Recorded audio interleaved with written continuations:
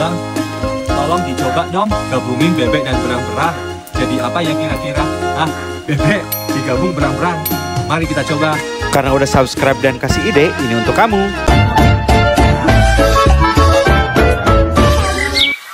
Hai, eksperimen yuk. Kita akan gabungkan DNA bebek dengan berang-berang sesuai requestmu. Tapi sebelumnya jangan lupa subscribe channel YouTube kita biar dapat hadiah.